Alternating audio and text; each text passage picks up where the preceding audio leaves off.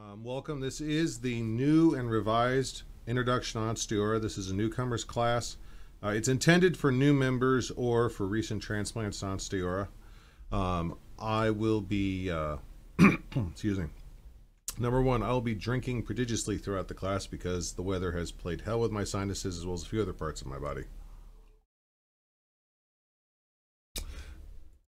Um, I'm going to be your instructor. Um, my name is Ivo Blackhawk.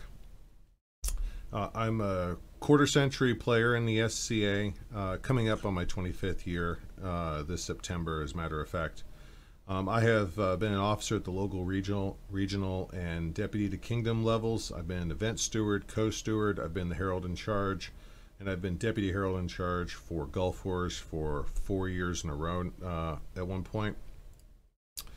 Um, what we're going to be covering today, uh, we're going to do a basic breakdown, very beginning, early breakdown of how the SCA got started and how it grew. Um, we are going to talk about uh, the more recent information of how COVID has changed the society, which I believe is very important for new members because just in general conversation, just in talking with older members, you're going to hear references to stuff that if you don't understand how COVID radically change the SCA, a lot of what they say is not going to make any sense. Um, we are going to go over the royal arm of leadership. We're going to talk about the administrative arm. we're going to talk about award recommendations, the award structure, and the Kingdom of Ansteorra. Um, a couple of things we're not going to talk about, uh, just because these aren't topics that I feel like covering or feel like are important at this stage. Um, this is not going to be a detailed history of Ansteorra. Um, that would be a four-hour class to itself, which I'm not qualified to teach. Um, we are not going to discuss politics, mundane or SCA. Uh, we will be hinting at some of the cornerstones of um, some differences within the kingdom, but we are not going to get into he said, she said politics. That's not why we're here. There will be no dirty laundry conversations. I'm not here to make anyone look bad or yell at anyone or or talk about anyone. Um, and as much as this sounds appealing, what this is not going to do, this is not going to be how-to instructions for early progress in the SC. I'm going to give you the building blocks, but the fact of the matter is, is that how you progress in the SCA really is customized to what you want to do, where you play, and the dynamic of the people around you. So I'm going to give you as much information as I can, but there is no checklist that's going to get you, um, that's going to advance you in the SCA that I can give everyone. Uh, the SCA started all the way back in 1966. Uh, it was a costume party. Um, some people I've heard have tried to romanticize this or, or give it higher ideals. This was a bunch of college students at a costume party in celebration of, I believe, one of the first people there had successfully defended her thesis. Um, and they decided to hold a medieval themed costume party. Um, several of the costumes were from noted fantasy characters, um, one of which I believe was Galadriel from Lord of the Rings. Um, obviously, back before it was cool because this predated the movies by uh, a number of decades, of course. The uh, the party was preceded by a parade slash mock protest of the modern day, and it included a tournament um, one of the men there, everyone, all the fighters called themselves Sir this and Sir that, and one of the men decided that if everyone's a knight, there needs to be a squire, so he introduced himself as a squire. And the presiding uh, figurehead of the day, who named herself Queen, um, knighted this individual after his day on the field.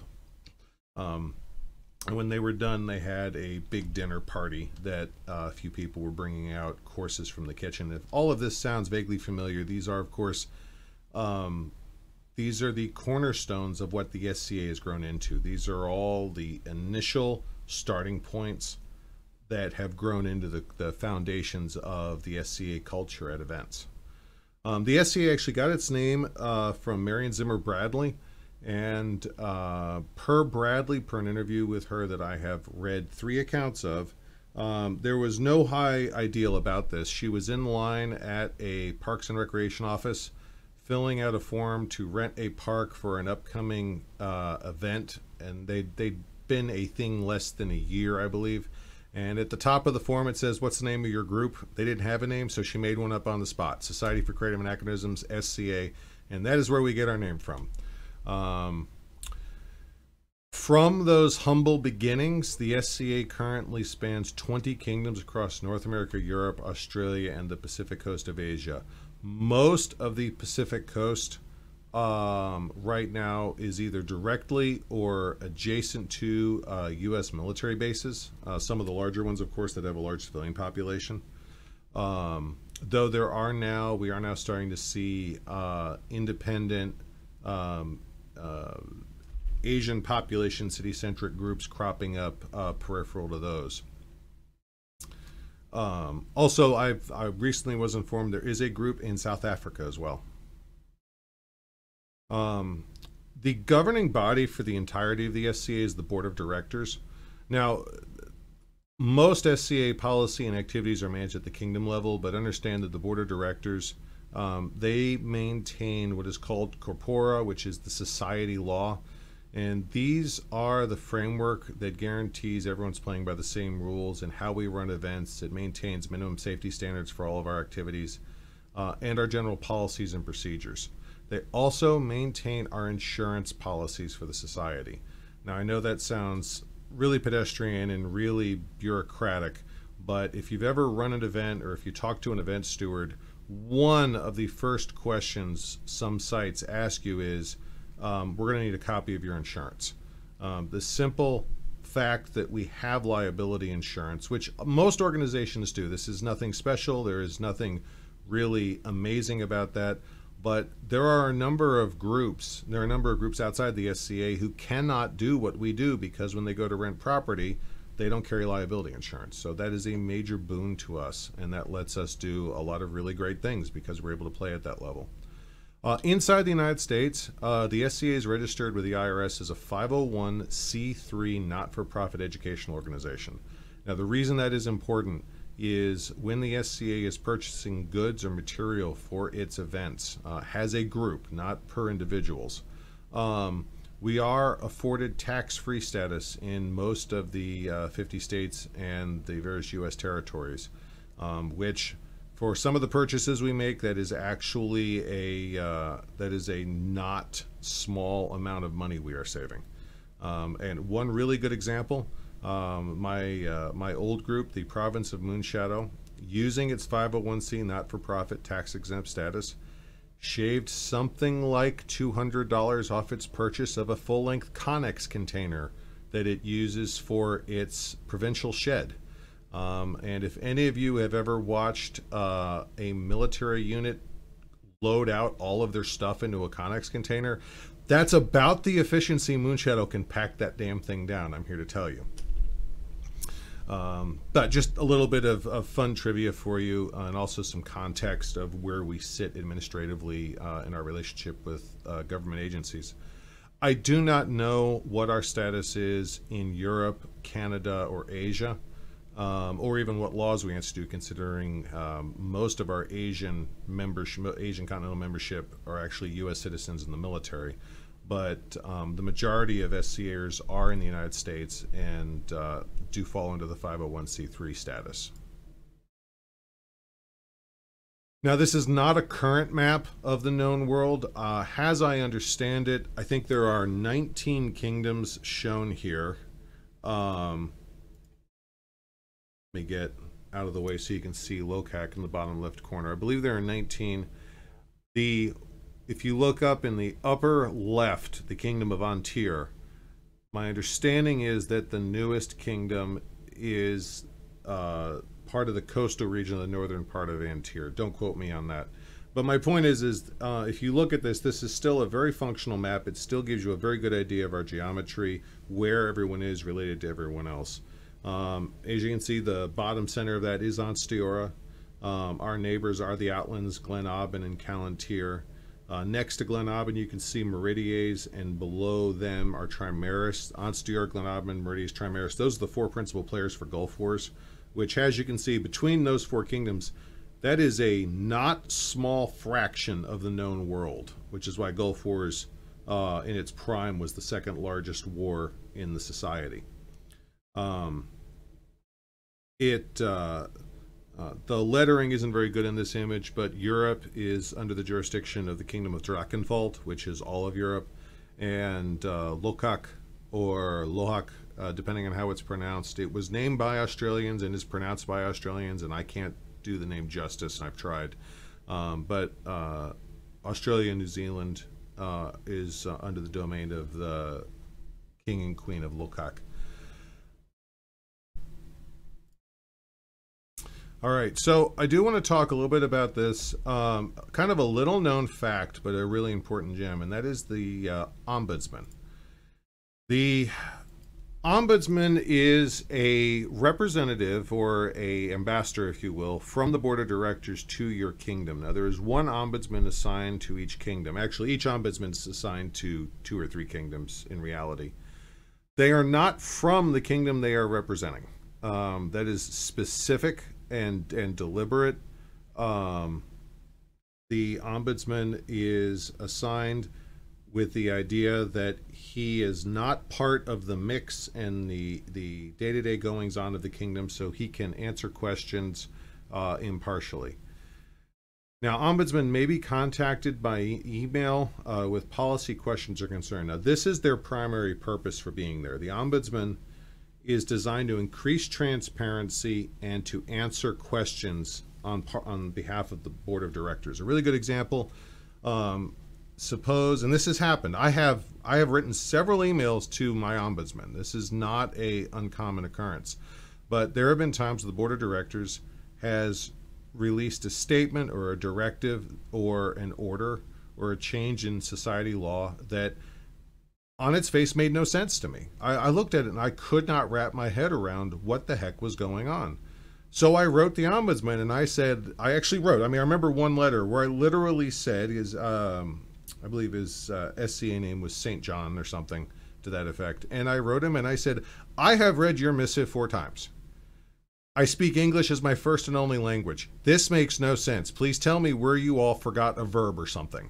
Um, he got a little snarky with me on reply, but it was all in good fun. I, there was no bad blood, and he explained what they were doing. And the reality is, is almost everyone who read that missive had been following another thread of conversations, and without that context, because I had not been following that, the missive made no sense. But when he showed me the thread and he showed me the conversations they were referring to, all of a sudden it made sense.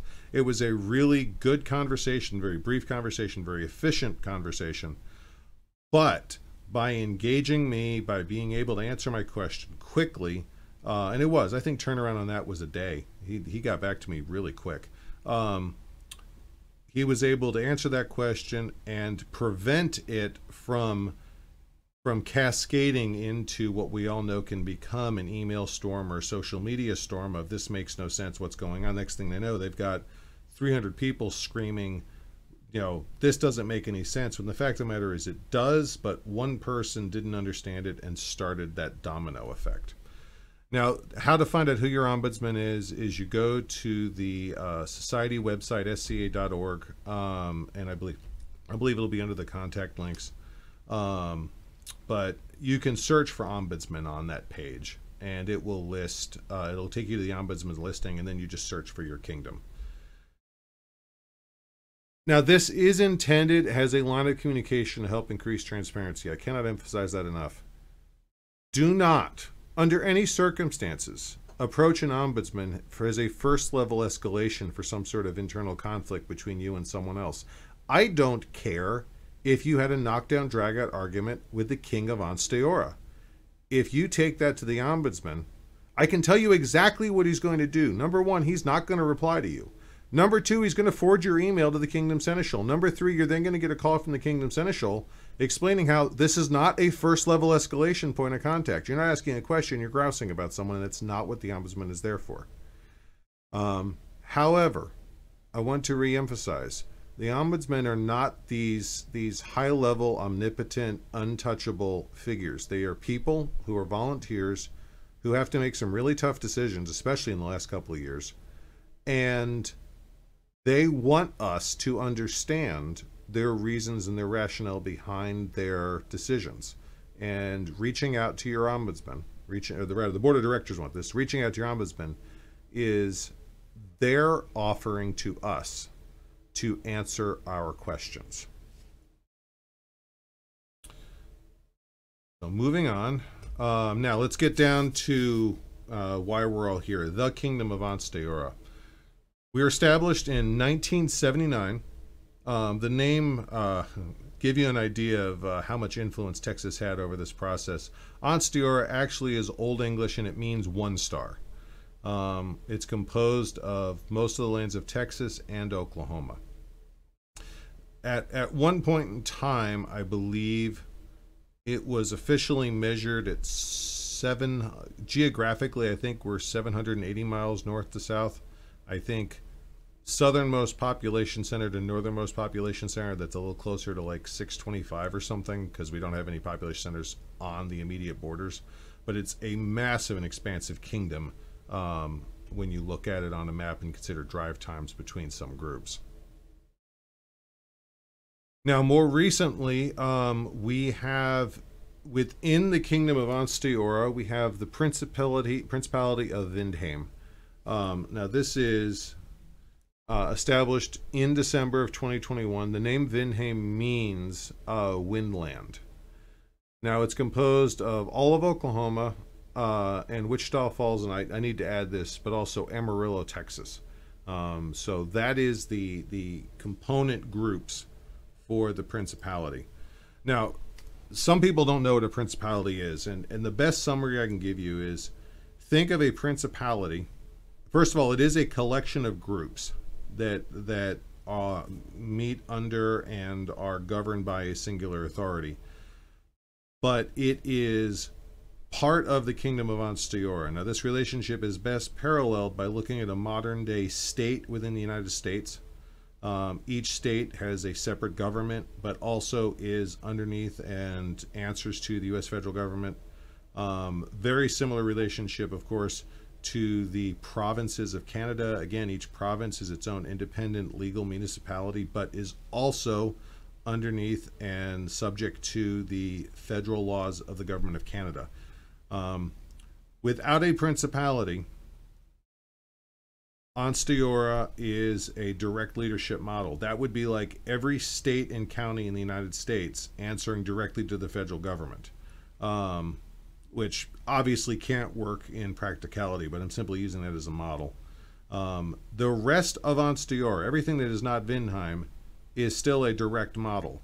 All of the individual groups, uh, at least at the royal level, answer directly to the crown. In Vindheim, um, all of the local groups answer to principality officers, and those officers uh, answer to the uh, kingdom. Now, we do have regional uh, deputies, and we'll get to that in a minute, but I just want to uh, highlight the structural differences. Uh, Vindheim is a recognized group with a board of directors, uh, is established in, is now established in kingdom law and is recognized by the society. We are ruled by uh, royals, just like the kingdom. Our royals, our prince and princess over the principality, uh, do answer to the king and queen. Um, we have a full docket of officers. The principality officers are called greater officers of state. They are still subordinate to the kingdom officers, but but they all are part of the swath of greater officers of state per society law. Um, now we're going to talk about kingdom leadership. Kingdom leadership can be broken down into two parts. Uh, one is the royal arm, this is the king and queen, or royals, or the crowns. All three of those are appropriate terms uh, for Ansteorra. The the decision for who is going to become crown is made at crown tournament, and the winner of crown tournament becomes the crown heirs. Uh, again, prince and princess is the appropriate title, and we're gonna we're gonna talk about we're gonna separate out who all the different prince and princesses are. Um, but you have the king and queen and then for three months out of every reign, you have a prince and princess or heirs to the throne. Separate from that prince and princess, you have the territorial prince and princess over Vindheim. They are the next down in the uh, hierarchy. Um, and beneath that, you have the landed barons and baronesses of the kingdom, and they preside over each individual barony, which are the largest groups. And then you have um, the peers of the realm, and those are the knights, the pelicans, the earls, and the masters of defense. Now, I know I'm throwing a lot at you. Stick with me. We are going to get into this in a little more detail. But I just want to get these terms out there for you to hear and see, and then we'll flesh them out. Now, now I've got the administrative arm. The administrative arm, this is a whole different animal. Um, these are the kingdom officers, uh, and uh, a lot of kingdom officers have um, a pretty large assortment of specialized deputies. So I do want to point out the deputies are there as well. They are not greater officers, but they answer directly to the greater officers and are integral to the kingdom's functionality as well. Um, immediately beneath the kingdom officers are the principality officers, who are also, like I said, greater officers of state. Um, and we're going to talk about all the individual officers in a minute. This is, again, just a high level overview. Now, um, the kingdom is also broken down. It has two regions. These are administrative regions, again, meant to help facilitate paperwork and, and business management. Um, we have a central region and a southern region, and each of those has regional officers. And then, of course, there are local officers. Every group has to have a minimum number of officers, and most groups have a larger docket than just the minimum. This, this diagram is meant to show you kind of a basic idea of the, the, the pecking order or the rank system and how it relates to all of the players in the royal arm of the game. When I say the royal arm, that starts with the crown king and queen or, or crown sovereigns of Ansteorra, all the way down to the peers of the realm. The peerages being the highest meritorious award any society, uh, any chapter in the society can give. At, if you look on the left of this image, it does indicate rank. Higher up the chart is the higher the rank, down toward the bottom is the lower the rank. Um, the top part is the royalty. Now, as I said, uh, you have the crown of Ansteorra. They reign for six months.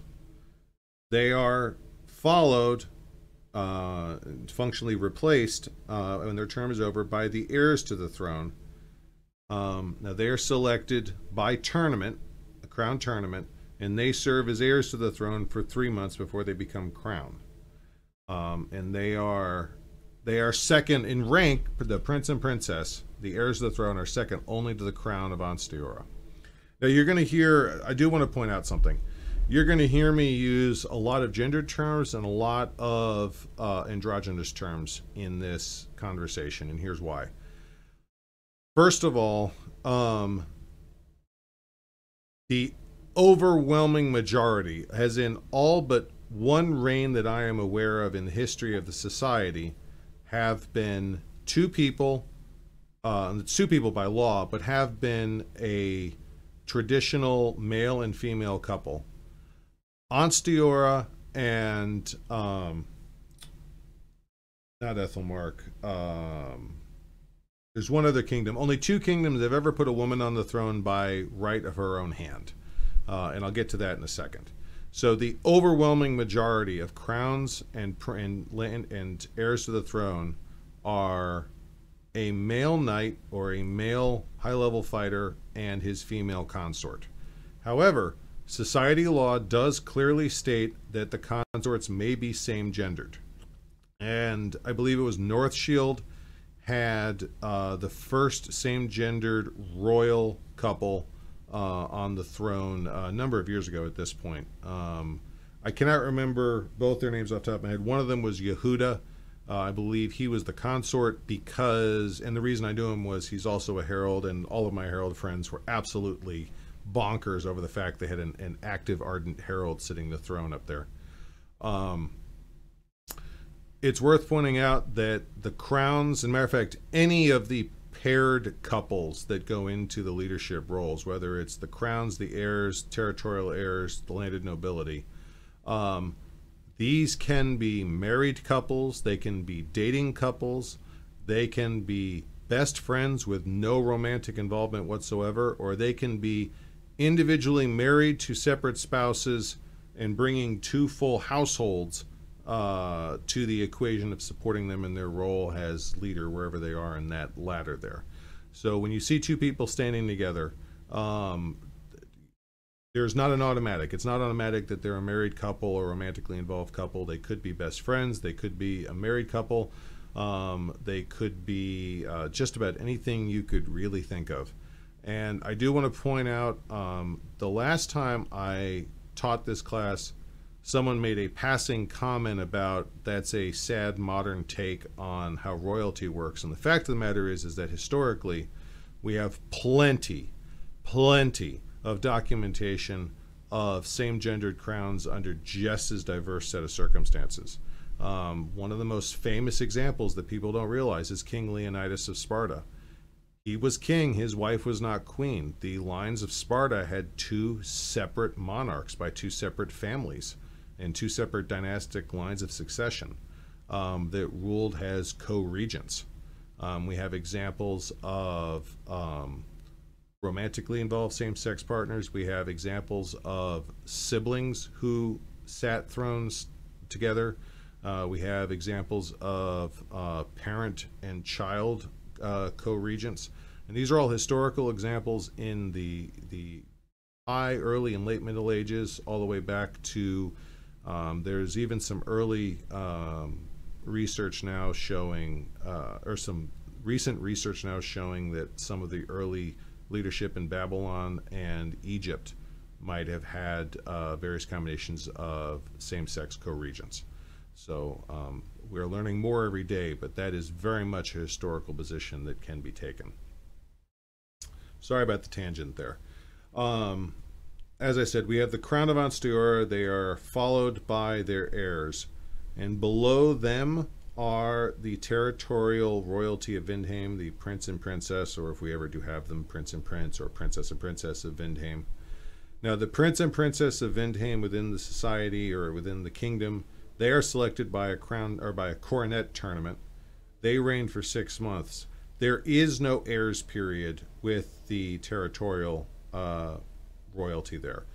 When they win the tournament, the Crown of Ansteorra walks out and names them uh, Prince and Princess over the lands of Vindheim effectively on the spot. So you show up to the tournament. If you win, you're it walking away. There's no there's no breaking in period there. Um, below the crown, actually, let's uh, let's talk for a minute about the royalty because we need, we've talked about what they are. We need to talk about what they do. The royalty of Ansteorra are, are expected to um, lead their kingdom, inspire their kingdom, and reward good works and service uh, by elevating people to appropriate ranks. Any award in the kingdom of Ansteorra, and frankly uh, anywhere for that matter in the SCA, that carries rank of any sort, from an award of arms all the way up to uh, a peerage, must have the royalty signature on it. Um, almost always the crown signature on it, and there are no exceptions that I'm aware of in Ansteorra. So, um, when we as a society or as a kingdom want to advance someone in rank, when I want someone to get their award of arms, when I want someone to become a centurion or an iris of merit, when I want someone to receive some sort of ranked recognition, um, the process for that, which we will talk about, by the way, but the process for that, by definition, that road goes through the crown of Ansteorra. That is part of their primary job, is recognition and advancement of rank. Now, below the royalty is the landed nobility. Um, the landed nobility are the barons and baronesses. Again, the same rules. Um, we can have same gendered um, uh, landed nobility. Matter of fact, my home group, uh, Barony of Wiesenfeuer, we were the first in the kingdom to have a uh, same-gendered uh, landed nobles, um, and then they stepped down, and a another set of landed nobles were invested, and then like two months later, the baron in that couple. Uh, he is uh, military and he was uh, transferred unexpectedly, despite the fact he'd been told that was not a possibility um, and he was forced to step down. And the Baroness's uh, good friend stepped up. So once again, we have a same-gendered uh, couple ruling as landed nobility in Wiesenfeuer.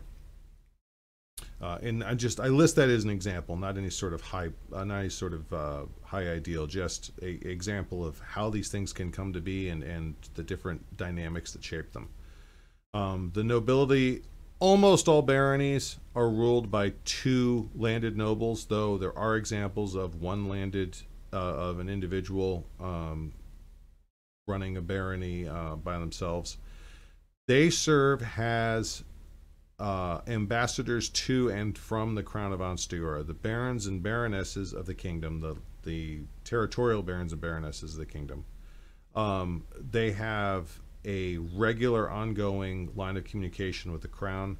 As a matter of fact, uh, I'm friends with my local baroness, and she routinely talks about how she has a weekly or biweekly phone call with the Crown of Ansteorra. It's a standard point of communication um, anything you say or do in front of a baron or baroness, a landed baron or baroness, unless you've specifically been told otherwise, you probably should just assume you're doing it in front of the crown because part of their job is the crown the crown literally and has i've watched this conversation go down. I, I was privileged to be privy to this. It was not that big a deal but um, i've watched the crown walk up to a landed baron and say, So I heard that so and so over there was doing woodwork and he accidentally broke his saw blade.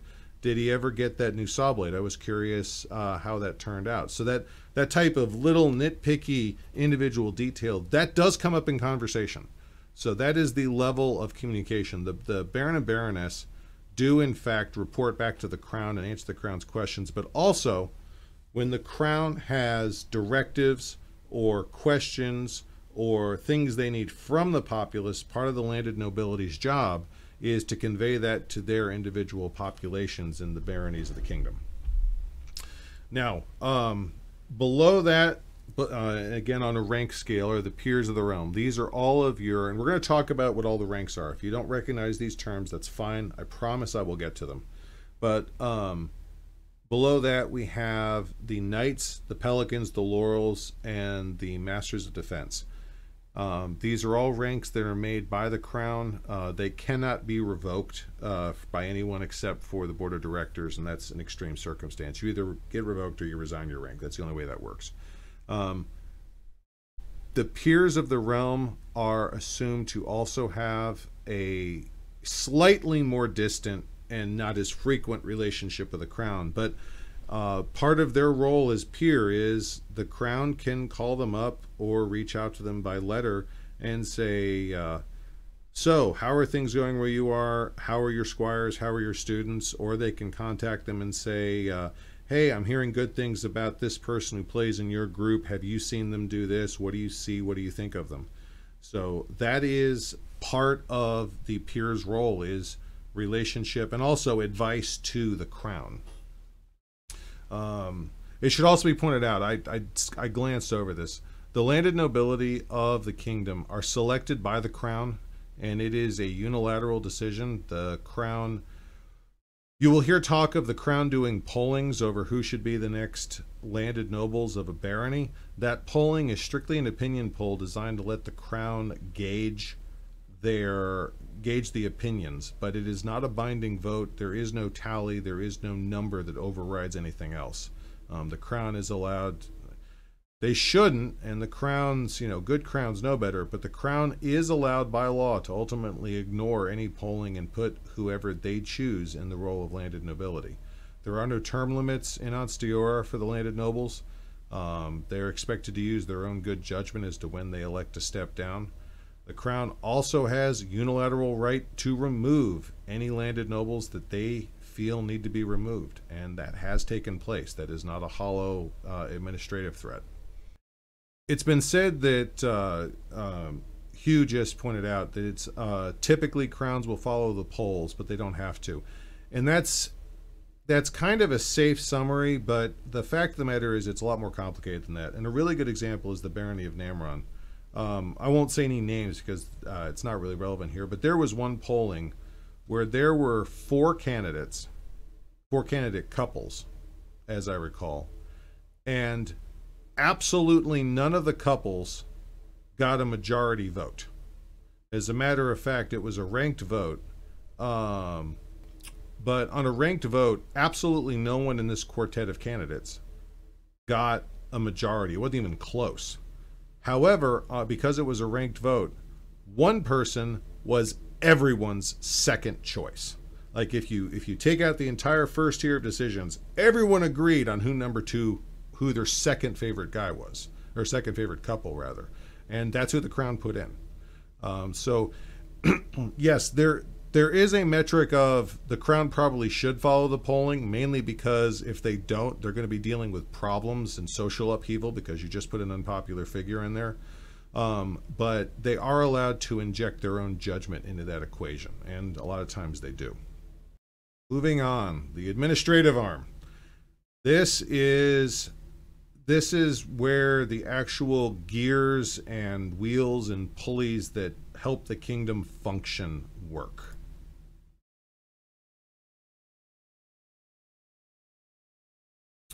So, um, kingdom officers.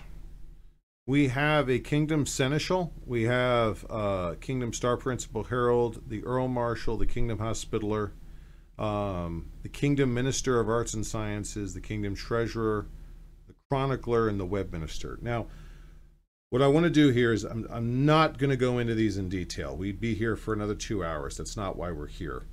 Um, but the kingdom seneschal is nominally the leader. I've heard it compared to a club president. I don't particularly like that, but it seems to resonate with people. Um, but they are the focal point for administrative efforts at the top of the kingdom. Um, if it comes down to a decision must be made, my experience has typically been it's the seneschal that calls the shot. But also, the seneschal is the only agent in the kingdom that can enter into contract representations for the SCA. Now, why is that important? It's simple. When you go to rent a location, like you want to rent a hall, you want to rent a campground, that's a contract. Um, and you must be a seneschal or a deputy seneschal in order to sign that paperwork. Otherwise, it is an invalid contract and the SCA won't honor it. So, that is one of the seneschal's most important features uh, in the functioning of the SCA is through them we are able to engage in contract represent or contract signatures for things like rentals and uh, purchases uh, on the part of the SCA. Now, Star Principal Herald, this is a um, huge bureaucratic. Uh, this is the apex of a huge bureaucratic uh, machine that helps the helps the SCA and helps the kingdom run. The herald's role, first of all, as to what heralds are and what they do, if you don't know, that is another class unto itself. Um, I have a video, uh, 15 minute video that gives the briefest of overviews of all the things that heralds do. But relevant to this class, the office of the herald uh, is responsible for tracking all the awards given, organizing all of the scrolls uh, for all of the awards, um, is providing voice heraldry service for the entirety of the kingdom, um, encouraging heraldic education in all of those disciplines, and frankly, so much more. The Star Principal Herald is the head of the College of Heralds. That is the proper name for that entire administrative structure. Um, underneath the Star Principal Herald is Star Signet, and that is the highest ranking scribe in the kingdom. And the College of Scribes is the is the bureaucratic administrative body which organizes its specific role is organizing and collecting and and monitoring all of the scrolls and creating all of the scrolls that we give out that we make and paint and give out for awards. In other kingdoms, the College of Scribes and their highest ranking scribe are a greater officer that stand on their own. In Ansteorra, however, the College of Scribes is a department of the College of Heralds and answers to Star Principal Herald. The Earl Marshal is our uh, safety officer. Um, the Earl Marshal is also responsible for encouraging education and um, education and activities, but at the end of the day, the primary purpose for our marshalate officers is safety. Um, they, if you look at their training, if you look at what they're required to do, the vast majority of their training and the vast majority of their requirements revolve around making sure people don't actually get hurt. Now, I happen to be a thrown weapons marshal and an archery marshal. Um, and I can tell you that 90% of my training and 80% or 95% of the work I do uh, revolves around making sure people show up and leave with the same number of holes and scars on their body. Um, now, the Kingdom Hospitaller, the Hospitaller office is, uh, in a summary, is tasked with encouraging uh, recruitment and retention within the SCA. They are the nominally speaking, the welcome wagon. They're responsible for making sure questions are answered, um, resources are made available to new and interested members, uh, and so forth. Minister of Arts and Sciences is an educational office. It really is a, it's dependent, especially at the kingdom level, it's uh, very much a bureaucratic office, but uh, Minister of Arts and Sciences is responsible for encouraging and facilitating education and training in the arts and sciences, which also includes research, not just making things. Kingdom Treasurer, uh, also called Exchequer. Uh, in some groups, it's called Reeve. Whatever you want to call it, um, that is the um, financial officer, pure and simple. Um, the historically, uh, if you ever want some interesting reading, there are actually some outlandishly funny historical stories about the various exchequers and lord purses of England and some of the antics they got into with the crown coin. Um, and I'm not going to say that we're not above some of the funnier stories in our time, but uh, the joke about Kingdom Treasurer, Kingdom Exchequer is it's the only office that if you do something royally stupid, the IRS could get involved, and we don't want that. Um, so it is a very important office. Uh, it helps us manage our monies and do it correctly. Kingdom Chronicler, um, on top of training and facilitating local officers to produce newsletters, is also responsible for generating the Kingdom newsletter. The Kingdom newsletter, in our case called the Black Star, is an official outlet of information on the part of the kingdom. It's a document that we have to keep up to date. The information in there is vital because that's where official announcements go out. If you want to have an event, um, you have to, by law, you have to announce that event, which means there has to be an ad in the Black Star uh, a certain amount of time before the event goes down. The Kingdom uh, calendar is maintained by a deputy to Kingdom Chronicler. So, uh, again, the the chronicler, yes, they generate the newsletter, yes, they train local chroniclers, but on a much more important note, especially at the kingdom level, um, they're responsible for making sure official information is out there so that we can say we, we notified people, we told people what was going on, and we have a record that we did that. Uh, and the Kingdom Web Minister is responsible for maintaining uh, the website, the Kingdom website, and helping facilitate uh, other deputies for maintaining regional and local websites and maintaining the Kingdom's web presence. Now, uh, we have principality officers. You will note the list is very similar. Um, one of the noted differences, we have a Principality Herald, but we do not have a Principality College of Heralds. Our heralds fall under the Kingdom's College of Heralds, but all the other offices there are effectively mirrored. Um, we do have a and this is kind of unique to. We have a Northern Regional Chronicler and a Principality Chronicler, and here is why we have that bifurcation, that split.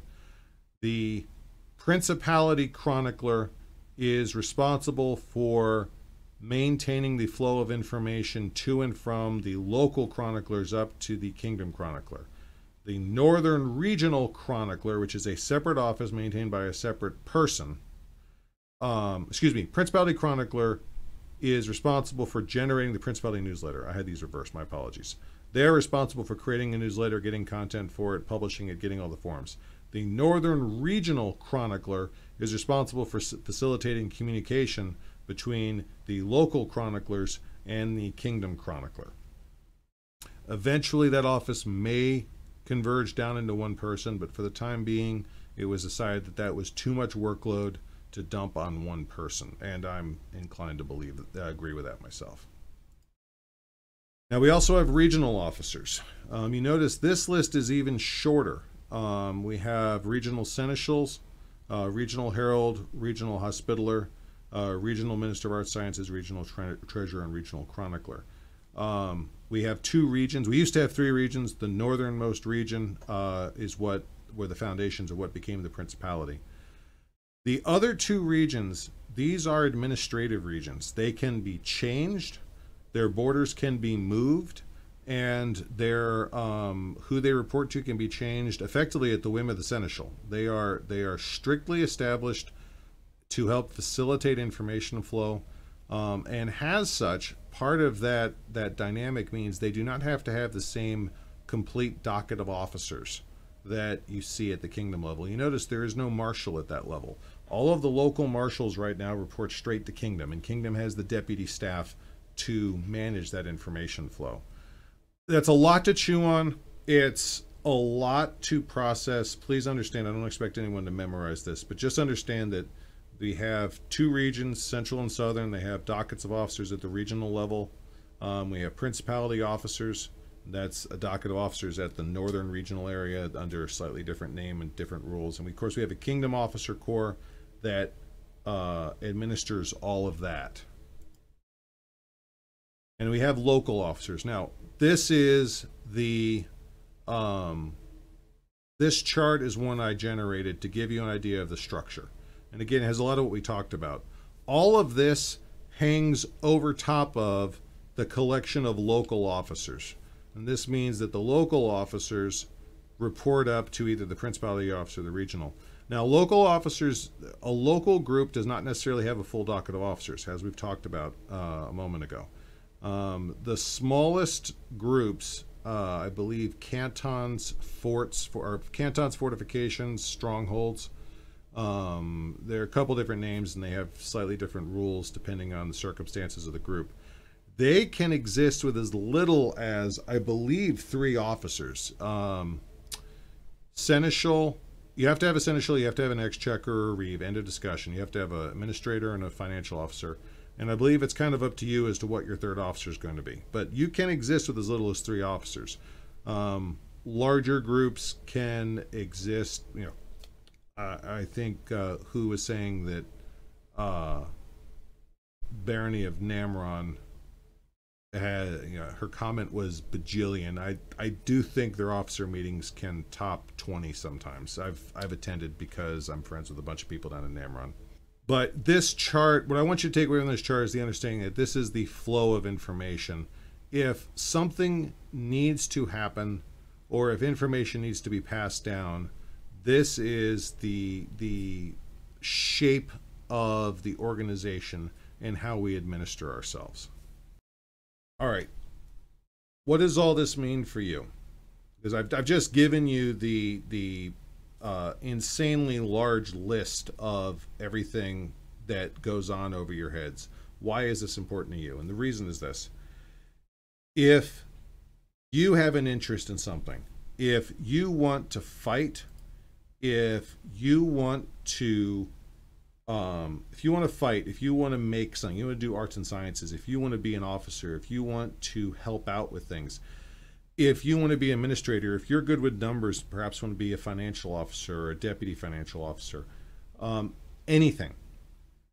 These are the offices that you can talk to because all of those kingdom offices I talked about, seneschal, reeve, ex, or seneschal, reeve, um, minister of arts and sciences, earl marshal, they all have uh, subordinates down to the local level. And if there's not a local officer for what you're interested in, like if your group doesn't have a Minister of Arts and Sciences, if your group doesn't have a Knights Marshal, you can talk to the hospitaller. If they don't have a hospitaller, you can talk to the seneschal. Part of the rule of being seneschal is if you don't have an officer for it, the responsibilities roll back onto your lap. Um, but if you have a question as a new member, you want to, you suppose you want to do pottery or you want to learn how to run an event, or you want to, um, frankly, anything. The officer corps at the local level is your access point to get more information. And you don't have to walk up and say, I want to do this, but you can say, Hey, I'm interested. Can I learn more? Um, when in doubt, start with a hospitaller. That, that's my advice. If there isn't a hospitaller, when in doubt, then you go to the seneschal. Um, And there's a really, really good chance you're going to get a handoff there because seneschals don't know everything. Matter of fact, most seneschals will tell you they know enough to know all of what they don't know. And that's that's all right. That is what we want to hear from them. But the seneschal will probably know enough to either know who to point you at to learn more about that subject, or we'll get your information and go ask who is out there who can answer this question. Um, if you want to talk about registering a name or a device and getting your heraldry registered, you can talk to a herald. And if you can't find a herald, talk to the seneschal and they'll try and put you in touch with a herald. Um, you get what I'm saying. I've, I've shown you this whole massive bureaucratic machine above your head and understand that that machine is there. And you don't have to understand the whole machine, but understand that it's there. And the fact that it's that big and the fact that it's that complicated works in your favor because it means there's a lot of people up there who part of their job is to help you figure out how to do something you want to learn more about because that's why it's there. That's that's part of the reason that machine exists is to help you and I have fun, frankly. Um, so that's that's the takeaway. That's why we went through all of that. I want you to understand that that is the shape of things hanging over your head. Um, now let's do a little bit of uh, talk about local groups because uh, I, I, hinted at this and I want to. I now want to actually talk about the building blocks at the local level. Uh, is currently composed of 34 local groups. This includes 13 baronies, one province, and a number of smaller groups, including shires, cantons, strongholds. I think at one point we had a fort. Now, I want to um, I want to break this down a little bit. Traditionally, a group will hold an event uh, every year. At that event, you will have competitions uh, to select champions for that group. The proceeds for the uh, cost of entering that event will be done will be put into the group's uh, funds, and they'll. excuse me, my studio cat just tried to jump up on the desk and missed. Um, the uh, the proceeds from that event, the money they make, will uh, go into the group's funds, and it will. Um, they will use that to fund future projects, making a new list field, getting new pavilions, um, buying fabric for uh, tabards for the baronial guard, whatever it may be. Um, most groups traditionally will have a large served meal at the end of their event. This is called a feast. Um, up until very, very recently, a feast was a absolute staple of SCA culture. Uh, matter of fact, um, about eight, about probably about six years ago now, um, there was a uh, there was some conversation about adjusting the SCA's liability exposure, and one of the attorneys that the board of directors had hired as part of general counsel for the society, which again for a major organization is typical, um, told the SCA. Um, we can probably reduce your liability insurance costs by half or more if you guys stop serving feast. To which the board of directors say, if you want to keep this contract, don't ever say that again. Um, the feast is a staple to SCA culture, and it's something we are proud of, and it's a major social event. Um, it, it's a major, it's a major cornerstone to how we socialize, how we interact, and how we shape our events. Um,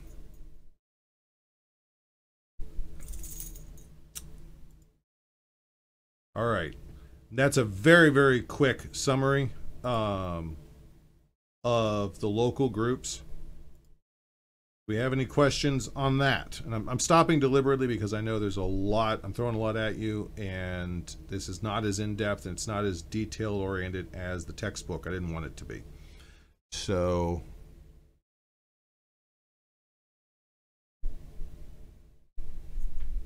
And don't worry about the cat. She's fine. She landed on all four and she's currently giving me an indignant look of, why did you let that happen? Hey, Bella. Right, come here. Every ow. Everyone say hi to Bella. Well. Okay. Hi, Bella. Hold on. Hi, Bella. Yep. Hey, Bella. Believe it or not, I am not the cat person in this family. She chose me. So, we need to talk about the last two years.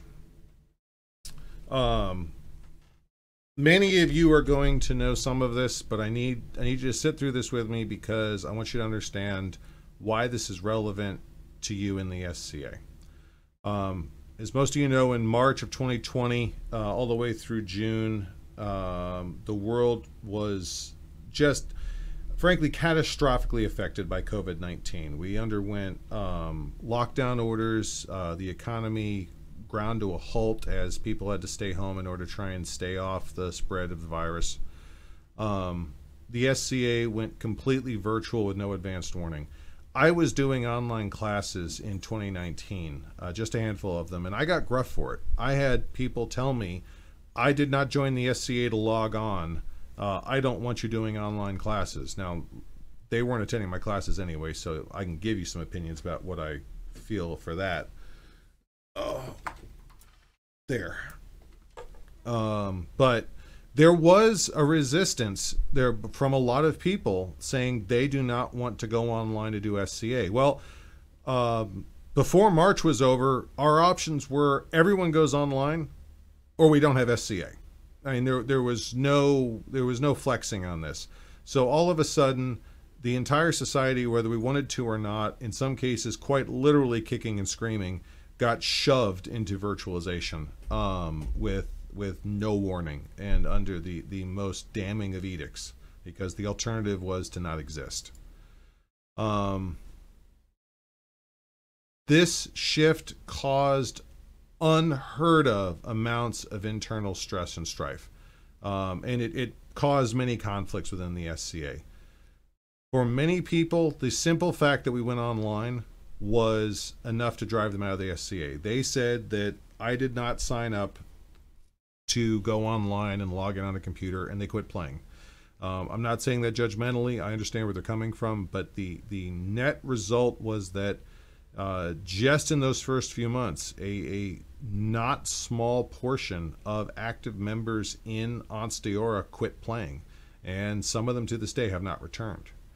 Um, has the SCA moved forward into 2021 and we started going into online or we started going into our first in-person events after COVID. Um, and afterward, we started getting uh, orders from the board of directors and then from the kingdoms saying that masks must be worn, must be worn.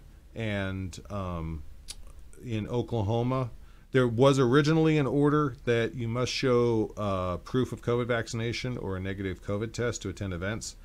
Um, then Texas state law was passed saying that that was illegal in Texas. So now Oklahoma, uh, only with Ansteorra, um, has a rule that says you must show a negative COVID test or co- proof of COVID vaccination in order to attend a uh, in-person event or practice. Um, these decisions were not universally liked, and uh, furthermore, people quit in personal protest of the mask mandates or the vaccination requirements, feeling that uh, the measures were not appropriate for the SCA. Um, the social media environment also shed light on previously little known personal opinions held by many members. Some of these statements and displays cause considerable internal conflict within many kingdoms, rewriting the social and interpersonal landscape of society. Um, I'm reading that because if I were to go off on a tangent about that, um, if I were to go off on a tangent about that, I would venture in unprofessional territory. But the the neutral fact of the matter is is that we as a society were not used to managing an SCA existence in parallel with what we normally put on social media. And because of that, a lot of people, um, a lot of people's personal opinions were made a lot more public than we were ready for. And no one was ready to, and a lot of people were not ready to ignore some of those statements. And that led to massive internal uh, strife and arguments um, that some friend circles were ripped end from end. New friend circles were created. Um, some of our strongest and most active households um, were frankly incinerated by the, the conflict that came from those uh, those interactions. It was not a pretty a pretty chapter in our history.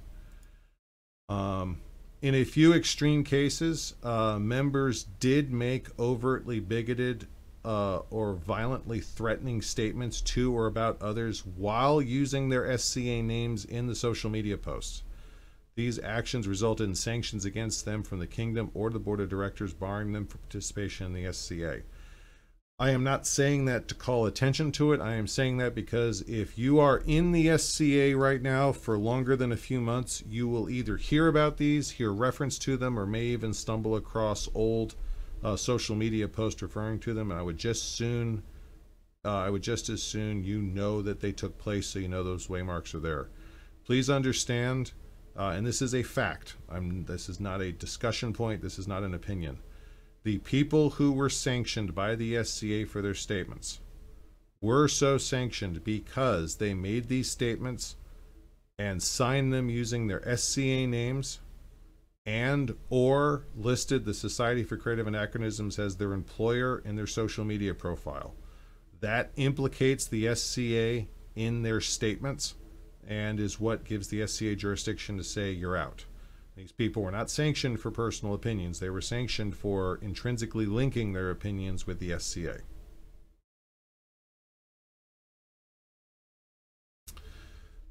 Um, for new members, and especially those who joined after March of 2021, it is important that you understand that much of our current lexicon tradition and understanding of the SCA and how it works is still, even now, in the process of shifting to the new reality that is the modern day even leading up, I I just autocrated Yule Revel, and we were still trying to figure out how is this all going to work under the new rules because there was no template.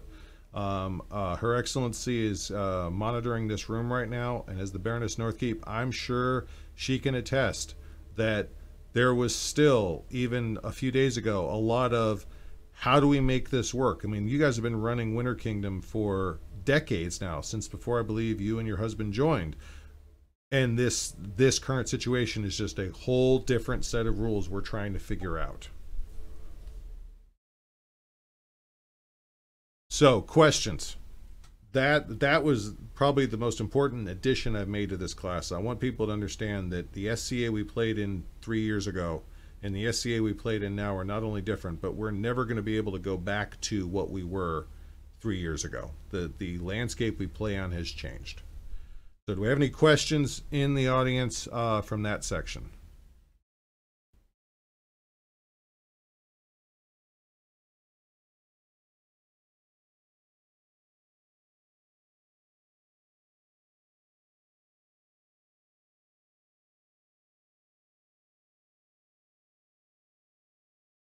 Yes, yes. Um, I, I Like, don't. these were not popular No, opinions. I, I do not want to dive too far into this, but it, since we've opened this particular uh, conversation talking point, I, I will highlight a couple of things very quickly. The the SCA has a very specific written set of core values, and I'm not going to repeat them because I don't have them memorized, but they are they are founded on the modern ideals of inclusivity and non-discrimination. The people in question uh, one person made there there are three independent three incidents I'm citing here.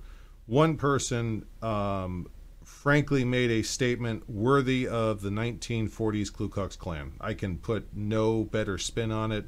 Um, he got sanctioned for that statement. Uh, literally, and this was partially happenstance because he made this he he made the comment on a Friday, but they were reading his royal banishment in court 23 hours and 10 minutes later and that was just barely fast enough in my opinion. But the reason the crown had round, had the right to sanction him was he did it on a uh, he signed his SCA name was his Facebook name, and he listed uh, Society for Creative Anachronisms as his employer, which that was that was the one-two punch. Um, he associated himself with the SCA, and he made some, he made a statement that was absolutely repugnant. Um, the second such statement was a manifesto that I frankly I feel like he was just reaching out to poke a finger in everyone's eye that he possibly could and guess what he did and the crown kicked him And the third person, again, that was he opened that comment or that post with this is an SCA post. So no question there.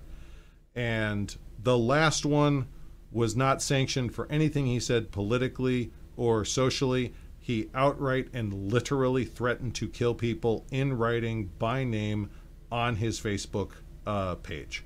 Um, I watched the conversation go down in all of its sad glory, uh, and he was sanctioned for it. And the, that was end of discussion. Um, you make a statement like that, you sign your SCA name. The the board of directors and the king is not going to blink on that one. That is the history of it. And I'm saying that because there are people out there who push the narrative that these people were kicked out because of their political beliefs.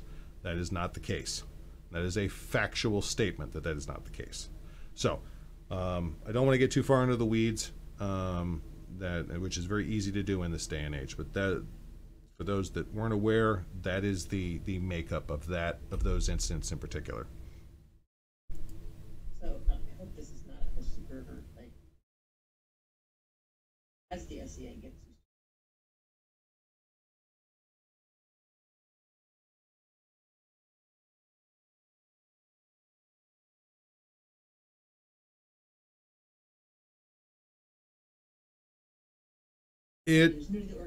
How would I know?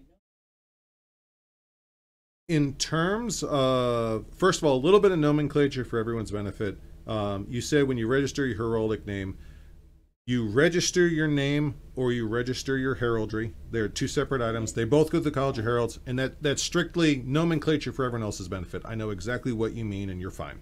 Um, there is no checklist. The bottom line is that. Well, let me put it this way if you are going to say something controversial and you would if you're going to say something critical about your employer it probably would behoove you to make sure you're not wearing your employer's logo on your shirt when you say it. That is that is where this comes from.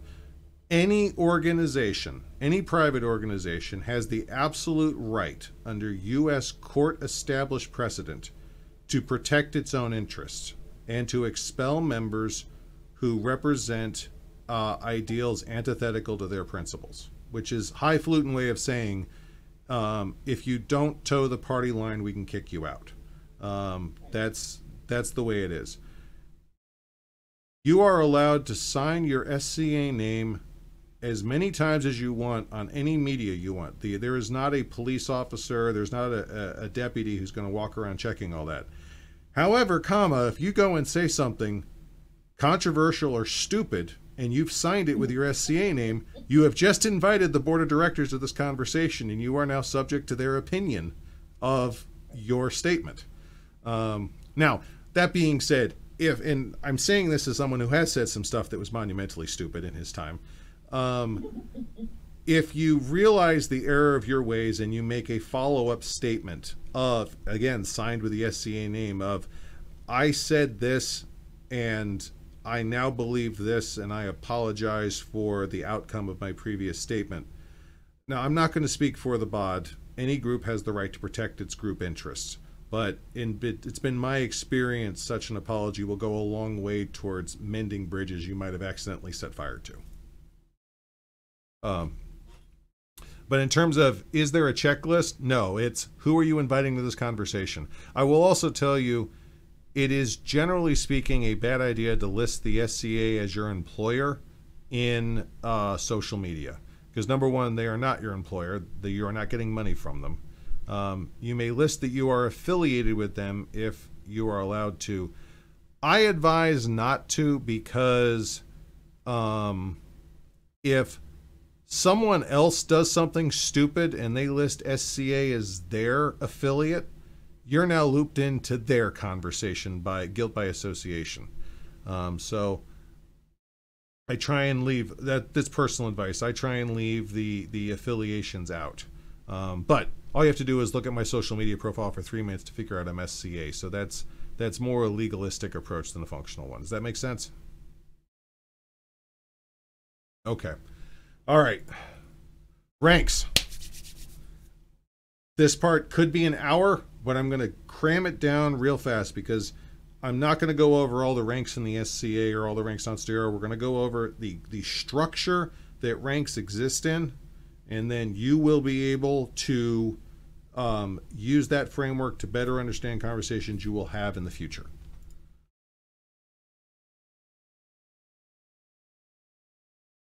The SCA has uh, what are called tracks. A track is the specific discipline that you are, or the, the category of discipline that you are studying. On this chart, I have grouped these into five categories, and there is an all others, and I'll explain why that is in a minute. I'm not trying to disrespect uh, a lot of the other disciplines. I'm just trying to make this chart concise for our purposes. Um, the major focuses in the SCA are the combat focuses. You have chivalric combat, heavy weapons.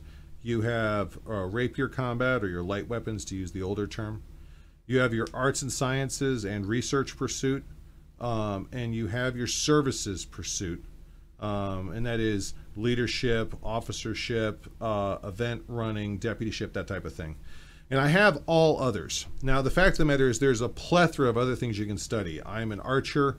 Um, there are people that do horseback riding. There are people who do, um, there are a number of uh, youth centric activities. Not that the youth do it, but people specialize in working with the youth on this. Um, however, what sets all of these apart uh, from the first four we talked about is the ranks that are available to them. Um, and, and this is where we're going to go. First of all, a tract. Let me let me put it this way: a tract is a average statement of what your body of work um, represents. I am arguably on the services track. The overwhelming majority of my efforts fall within the spectrum of service. Now, does that mean I'm only service? No, I have uh, I have a Sable Talon, which is a fighting award for archery. So that puts me on the that that means I have one foot in the martial track. I have three thistles.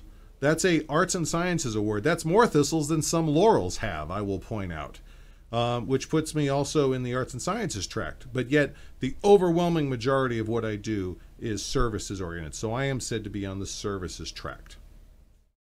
Um, the tracks in this case are graphically represented as your vertical paths on this uh, on this chart. Note that there are only four that go all the way up to the top level, and that is because there are four peerages. Not all skill sets that you can practice have a peerage at the end. Some skills that you can study, um, the highest rank that that will get you is a grant of arms. Right now, archers in Ansteorra, or matter of archers anywhere in the in the society, can only earn up to a grant award for their kingdom's grant level archery award. Um, there is no peerage for archer. There is no peerage for equestrian activity. Um, the highest you can get is a grant level equestrian award. So it's not that I want to disparage either of those or any of the other activities that you can do, but for the purposes of this graph, I have condensed all others into their own category so that it fits into this visual framework. Now, we've talked about the vertical. Those are the categories of the tracks. Um, the tiers going up, there are four tiers of rank in the SCA. You have non armigerous awards, armigerous awards, grant awards or grant of arms awards and peerage. Now, let me start with the word that we just heard. That's armigerous or armigerious. It's a Middle English word.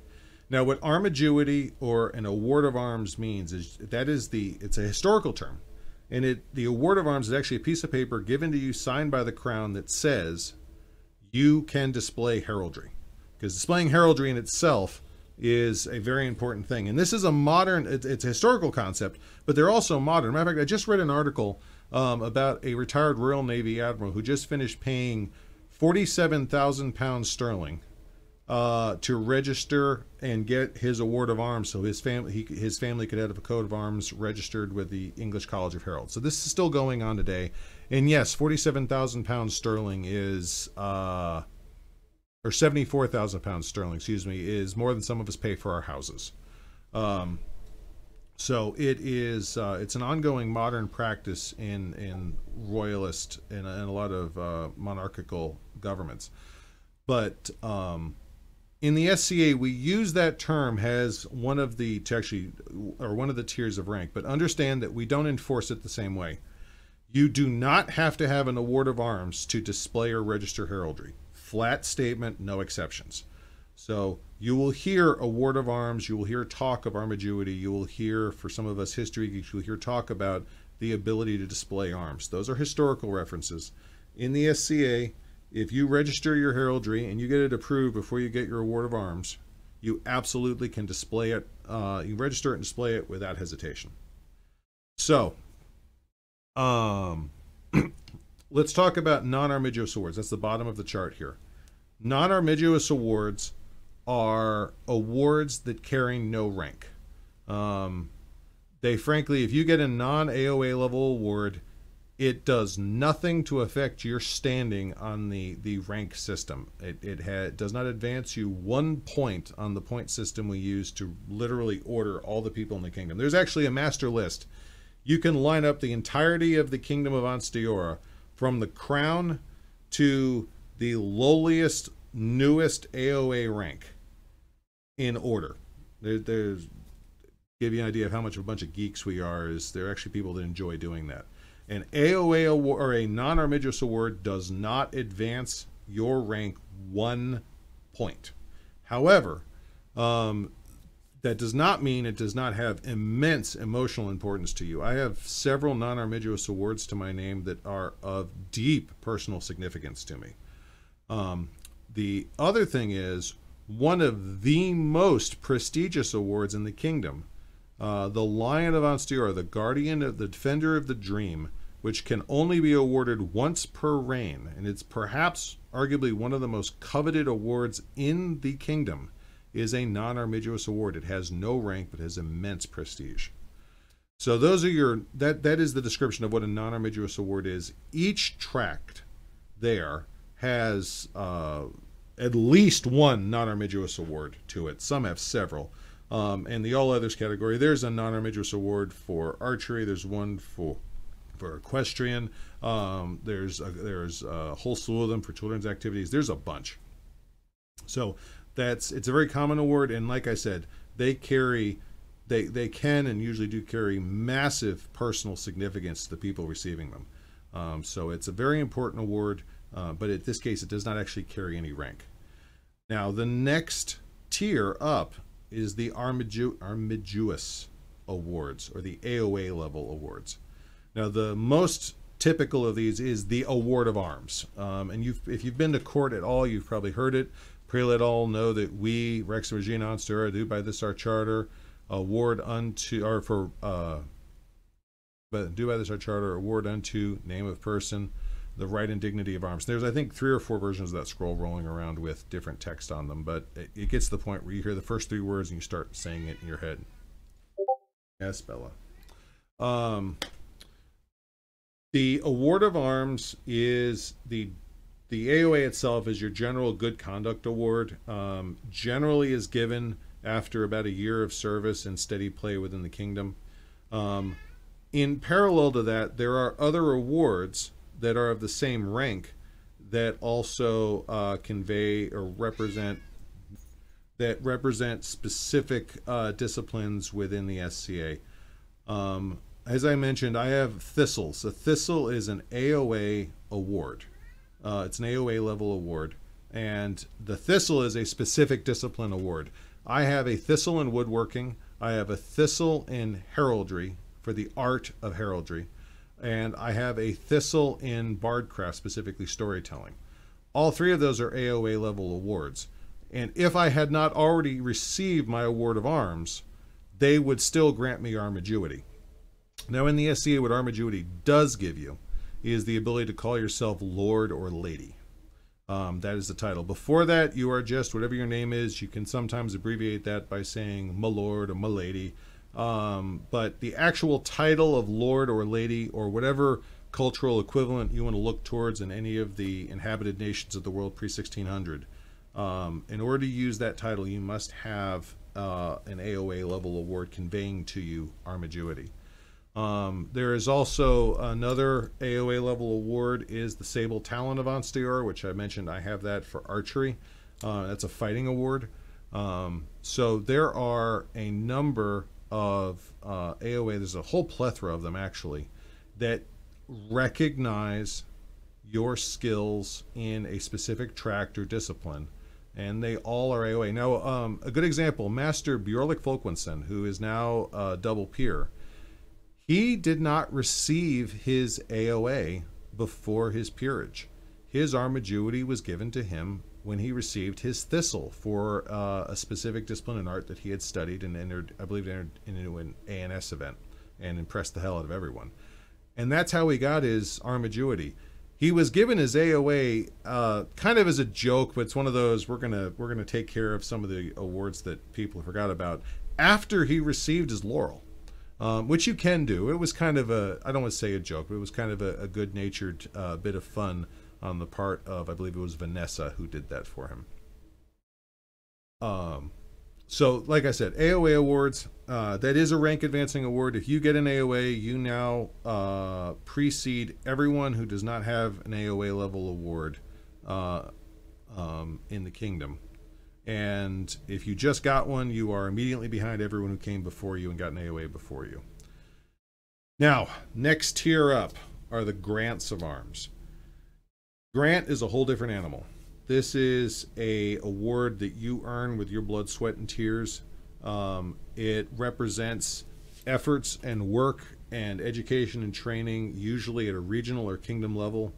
Um, if you if you make grant um, I like to compare them to the grizzled sergeants of the Army. They're not the top echelon, that's the officers, but these are the people you go to to get stuff done. These are the people who are um, been there, done that.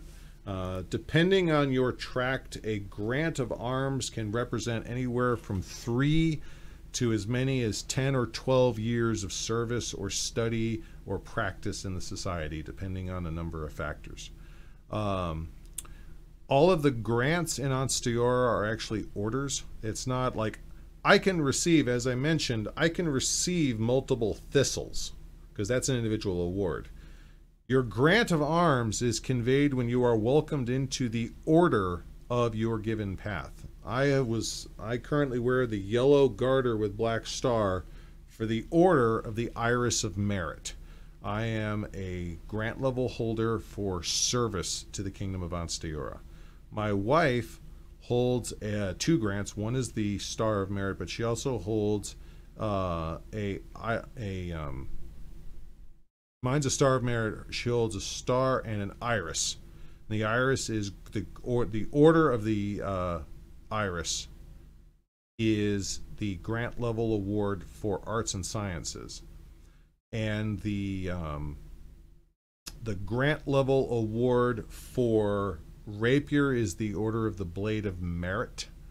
Um, actually, I believe the rapier it's just the Blade of Merit. It's not an order, but I know that the centurions, the milit, the the uh, the martial, the heavy weapons grant award is the centurion and that is an order and it's a polled order the crown has to poll all the centurions that currently are there currently at that meeting and say hey i'm thinking about this person what do you all think and he has to get their opinion he doesn't have to follow their opinion but he has to get their opinion before he in, inducts someone into their order um, but these are the grant awards like i said um, if you if you have a grant or if you're working with someone as a grant that is a large body of experience right there. That is, this is not your average player anymore. This is one of the people that's out there, um, frankly, um, moving. My experience has been these are people who have moved mountains and probably will continue to for a while still. Now, as you can see, for the all others category, that's as high as you're going to get. There are disciplines you can study, things you can do where grant is your terminal award.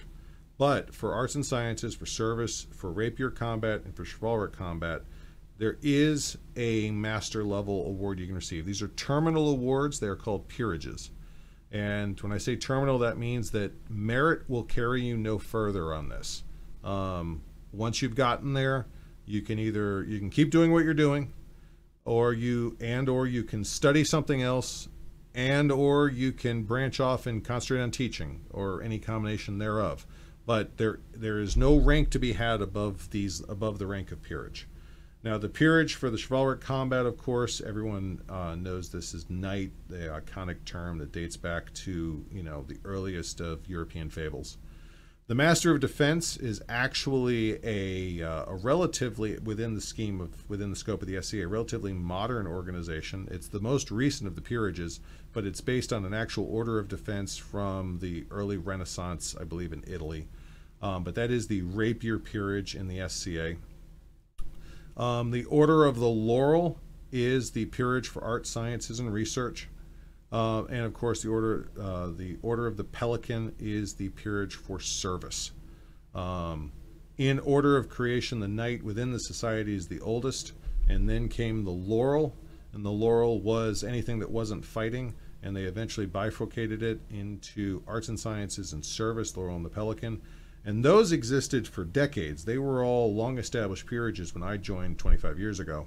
Um, it's only been in the last 10 years that the Master of Defense was established as a fourth peerage for the rapier community. So they are the uh, the newest of the peerages. Um, for the for your for your records, I believe there is currently only one in Ansteorra. There's only one quadruple peer, and that, that is Master Modius von Mergenheim who uh, was, I believe, first a Laurel, then a Pelican, then a Master of Defense, and then a made a Knight. Um, and uh, to my understanding, he's the only uh, quadruple peer we have. We have, I believe, two triple peers, and the rest there's there's a plethora of double peers, and then of course there's a whole army of people who are single peerage. Um, but uh, um, there there was someone who set out and actually got all four peerages. It is physically possible, um, just in case you were wondering.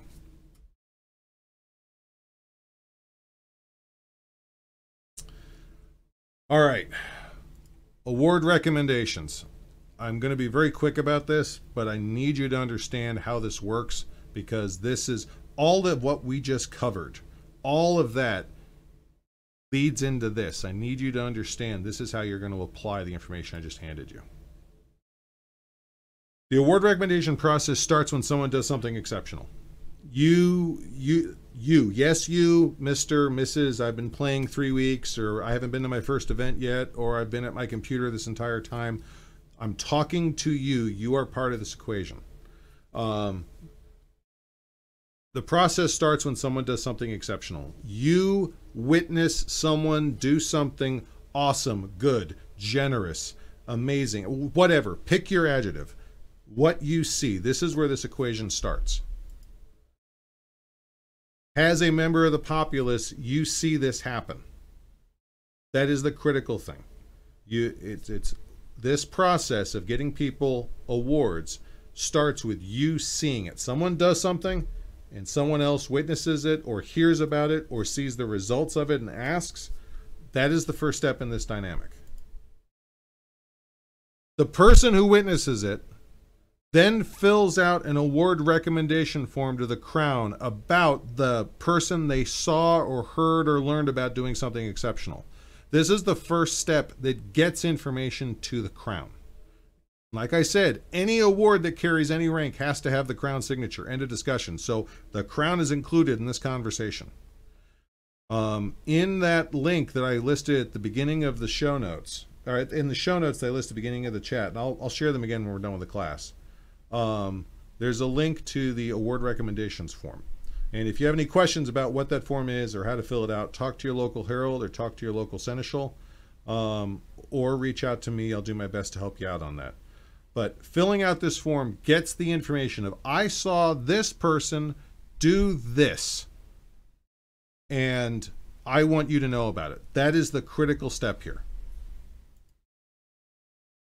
The Crown will review these forms. They, that's part of their job. Like I said, part of their job is the recognition and advancement of their populace for good conduct and deeds. This is the mechanics of how that does, happens Any every crown I've ever spoken with, I've been playing a quarter century. I've had a, the blessed opportunity to speak with a number of past crowns. They will tell you that they set aside time every week, like hours. Like I, one of them said that they set aside the first four hours of every Saturday that they weren't at an event, and if it, they were an event, I think they did the the first four hours of the Monday after an event or something like that. Just going through, just so they had time to go through all their emails, all their award recommendations, and review all the forms they got and give them the time they deserve. So this is not something they're doing in passing. This is part of their core job as Crown is to look at these award recommendations. The Crown will consult with the landed nobles and the peers who may know more about this subject. If you live in a canton or a shire or a fort or some little group out in the middle of nowhere, chances are still that there is a, a knight or a laurel or a pelican or a master of defense or maybe a landed baron from a neighboring barony had stopped by at a meeting or has attended an online activity or was at your last event. The crown will call and ask these questions. They will have these conversations. They will do these inquiries. That is part of their job and that is part of the responsibility of the landed nobles and the peers to be that part of that conversation. So the crown will do research into these subjects. The crown will decide if the award is appropriate. Now, part of the award recommendation form says, What award are you recommending this person for? If you're not sure, you have to fill out something. The form will let you leave it blank. Take your best guess. The Crown is not bound by that, and they can decide that award isn't appropriate, but that doesn't mean they're going to ignore the form. They may decide, okay, this isn't grant level work, but it sure as hell is AOA level work, and we're going to do this award instead. That is well within their purview. But the Crown will finally codify, okay, here's the award that's being recommended, here's what we're seeing. Is it appropriate to give this award? Is it appropriate to give the award at all? Or any award at all? If they decide so, the award is given. Now, just kind of give the other tail on this. If they decide that an award's not appropriate, it the whole process dies at that step. For whatever reason, they decide not to give that award, and the, the process stops. They don't have to reply. They don't have to say anything. They don't even have to publicly acknowledge. They don't have to privately acknowledge that they received the award recommendation. That's the way the system works. Um, so if you put in an award recommendation and no one got the award, um, wait till the next reign and try again. Because all these forms don't carry over between reigns, by the way. If if you send it to one king and another king's on the throne, send in another award rec. But if they do decide the award is going to happen, if they do decide that they want to give this award out, they will begin the process of making sure there is a scroll, that it is filled out, and that there will be someone to give that award, whether it's going to be them at the next event they are at, or whether they're going to give it to a landed noble who's at the next event this person will be at to get for them to hand it out in a royal court held by them, or some other means. I mean, there are there are a couple of ways available to the crown, but the crown will then begin the process of actually getting the award made and handed out uh, in order. All right. That's the class. And I think I actually cut that in in 15 minutes short of what I was worried it was going to be.